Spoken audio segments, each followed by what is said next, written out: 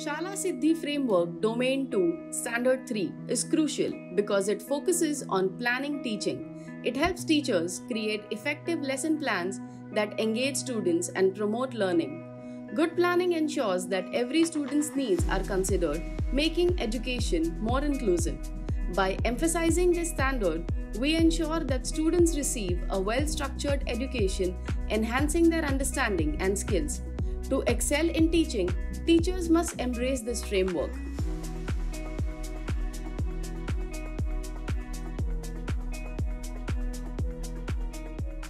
Hello everyone, myself Alpa Desai.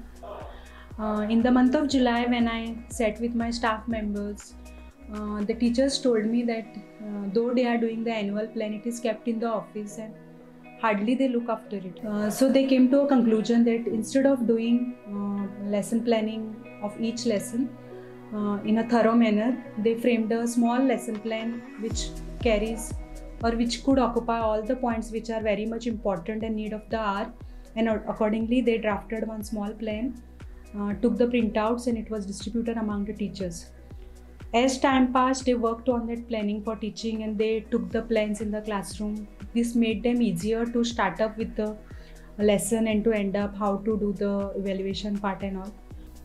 With the lesson plan they also maintained logbook.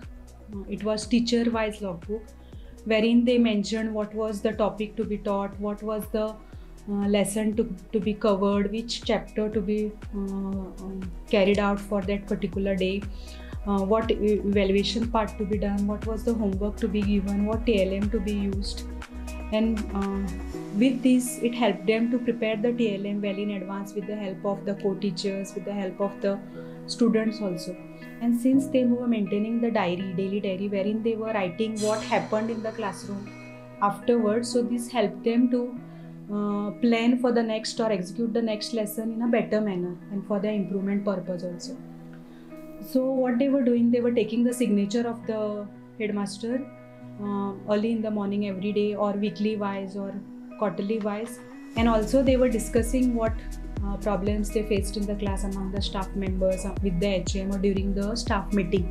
So these help help the HM also and the teachers also uh, to uh, improve themselves uh, from the better lesson to the good lesson or from the good lesson to the best lesson.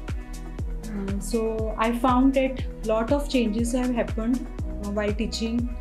Uh, now the uh, class becomes very healthy class goes in a healthy manner and also the lesson goes innovative. Let's make learning exciting and meaningful for every child in our care.